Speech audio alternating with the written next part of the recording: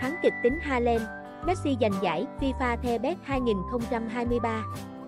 Không cần tính đến danh hiệu vô địch World Cup 2022, Lionel Messi vẫn qua mặt dàn sao trẻ Erling Haaland và Kylian Mbappe để đoạt giải thưởng FIFA The Best.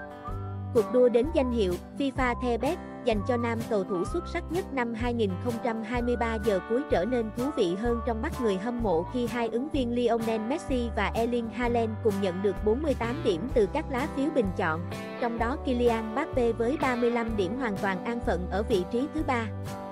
FIFA The Best được tổng hợp từ điểm số của cuộc bình chọn do các thủ quân đội tuyển quốc gia,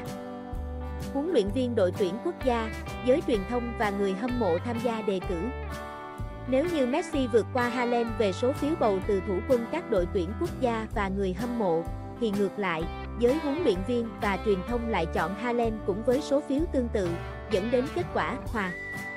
Đến đây thì danh tính người chiến thắng được quyết định dựa trên sự lựa chọn cao nhất từ phiếu bầu của các đội trưởng tuyển quốc gia, nam, theo quy định của cuộc bình chọn. Kết quả nhận được khá kịch tính, Messi nhận được 107 bình chọn ở vị trí số 1 trong khi Haaland chỉ nhận được 64 bình chọn. Trong đó có 9 lá phiếu của thủ quân tuyển Argentina, Lionel Messi.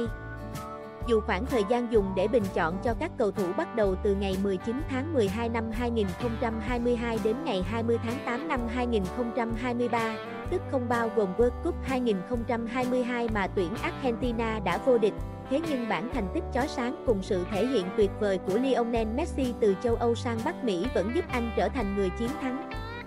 Đây là năm thứ hai liên tiếp, Lionel Messi giành giải FIFA The Best dành cho nam cầu thủ xuất sắc nhất, cũng là lần thứ ba siêu sao người Argentina đoạt giải thưởng này, 2019, 2022, 2023, nhiều hơn bất kỳ cầu thủ nào khác trong lịch sử.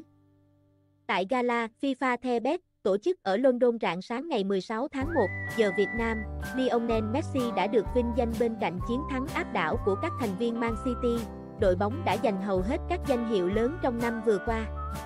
Ederson giành giải thủ môn nam xuất sắc nhất, trong khi Pep Guardiola bước lên bục chiến thắng ở hạng mục dành cho huấn luyện viên nam xuất sắc nhất do đã đưa đội bóng của mình giành cú ăn ba trong thời gian tính thành tích.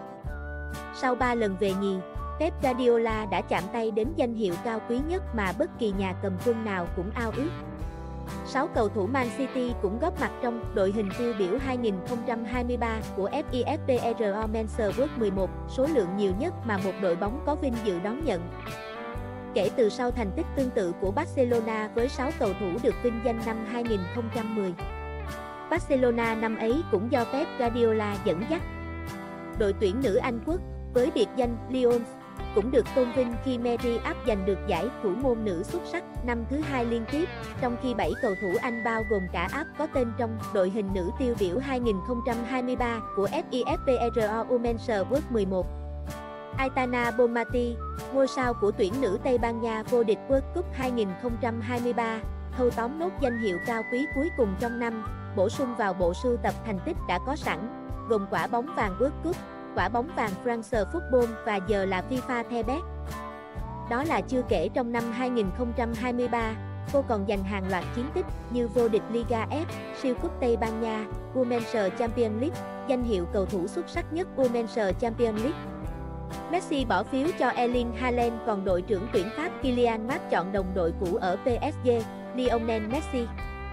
Thủ quân tuyển Anh Harry Kane nằm trong số những người bỏ phiếu ủng hộ Messi còn bộ ba Liverpool là Mohamed Salah, tuyển Ai Cập, Virgil van Dijk, tuyển Hà Lan và Andrew Robertson, tuyển xứ Wales, cũng bỏ phiếu cho ngôi sao đang chơi cho Inter Miami thay vì Erling Haaland của Man City.